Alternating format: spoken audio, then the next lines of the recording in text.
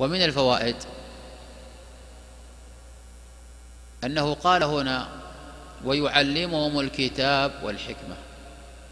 أيضا أتى بصيغة الفعل المضارع مما يدل على أن حاجة الناس إلى تعلم العلم الشرعي وإلى تعليمه أنه مستمر وأن الإنسان لابد أن يبقى عالما ومتعلما إلى أن يتوفاه الله. ولذلك الإمام أحمد رحمه الله لما رؤي في آخر حياته ومعه المحبرة قالوا إلى متى يا إمام؟ يعني بلغت وأصبحت إماما. قال من المحبرة إلى المقبرة. ويدل لكلامه رحمه الله بعد التأمل.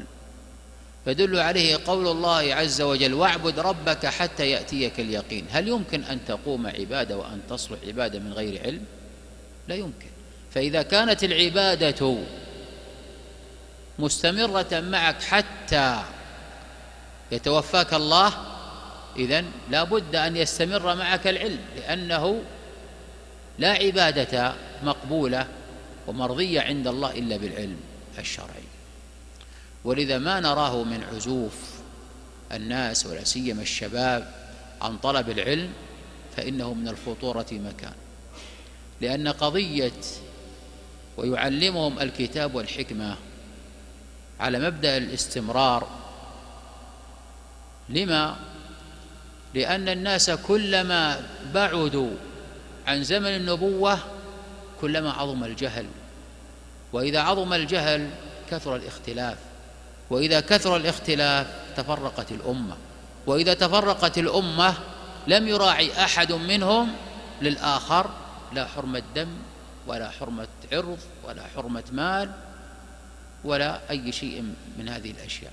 ولذا قال النبي صلى الله عليه وآله وسلم كما في الصحيحين لما قال صلى الله عليه وآله وسلم لا تقوم الساعة حتى يرفع العلم. وفي رواية يقبض العلم ويكثر الجهل. فإذا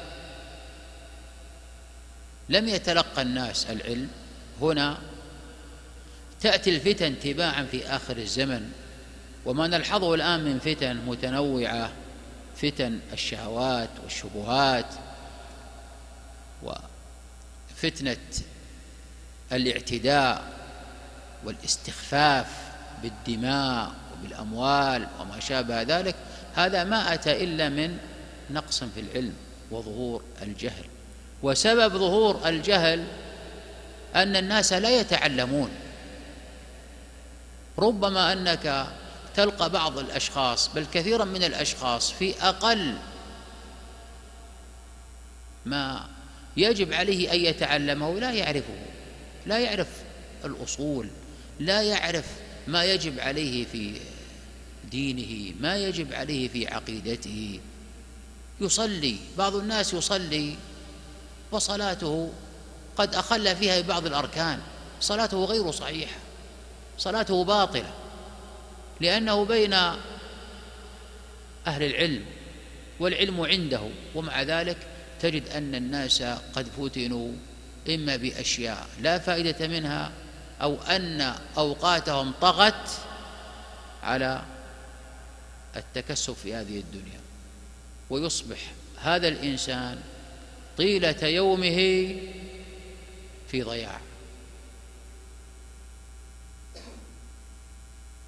من الصباح في الدوام وبعد الدوام نوم ثم ذهاب أو إياب أو ما شابه ذلك من هذه الأشياء.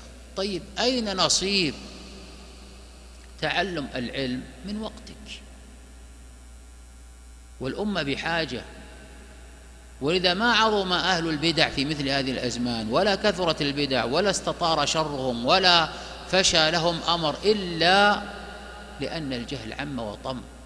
لكن لو كان الناس يتعلمون هنا بإذن الله تندفع الشبه والفتن.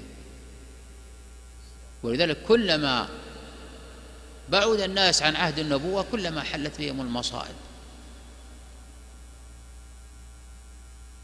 فإذا قوله ويعلمهم الكتاب والحكمة الفعل المضارع يدل على وجوب تعلم العلم الشرعي ويجب على العلماء أن يعلموه الناس وأن يخرجوا للناس في كل وقت وفي زمن الفتن أن يكون خروج العلماء أكثر وأكثر.